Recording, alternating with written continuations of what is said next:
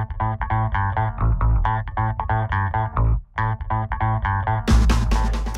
right, hey guys, we're gonna go over a real quick, uh, easy jig to use when measuring railings out on site.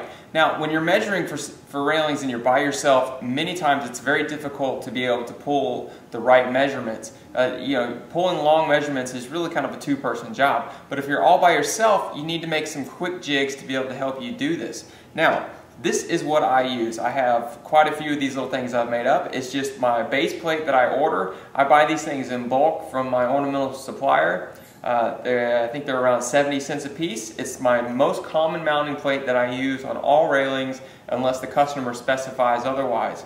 Uh, it's a 4 inch by 4 inch square plate. It already has the holes pre-drilled in it.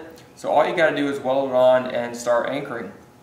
I've taken some scrap tubing that I have laying around, my one inch tubing, which is my most common post size that I always use. And I've go ahead and I've welded this on here just as if this was the bottom of my railing. So now I can take these, I can take two of these, set these exactly where they need to be out on site and pull my measurements from there. So this way I know that every time I'm going to have the exact measurements that I need and I know that those posts are going to fall right where they need to when I go back out on site. It's just a very quick, easy way for you to be able to measure things by yourself and feel confident and know that you're going to have the perfect measurements every time.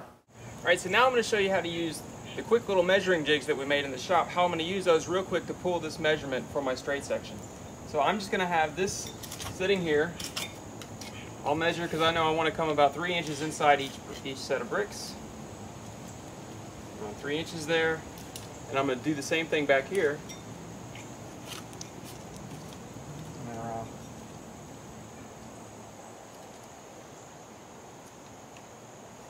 I know that those are set in place.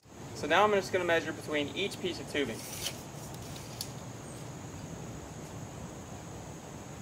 And now I have my measurement, 44 inches. They do this all along the side and you're going to have a perfect measurement every time.